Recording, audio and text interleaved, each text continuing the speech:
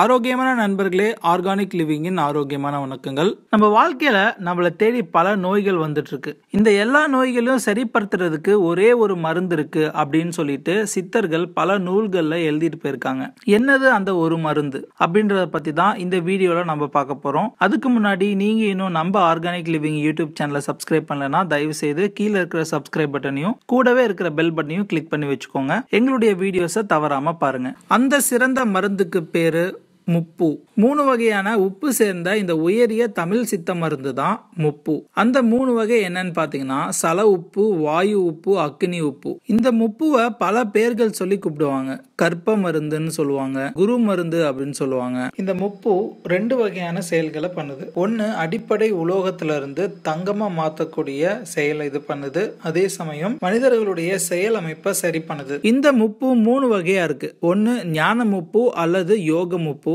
ரெண்டாவது வைத்திய முப்பு மூணாவது வாத முப்பு. முப்பு அப்படின்றதுக்கு நம்ம பேச்சு நடை தமிழ்ல ரசமணி அப்படின்னு சொல்லுவாங்க. இதை ஆங்கிலத்துல த பிலாசபர் ஸ்டோன் அப்படின்னு கூட சொல்லுவாங்க. இந்த முப்போட மருத்துவத்தை தெரிஞ்சுக்கிறதுக்கு தனி தகுதி வேணும்.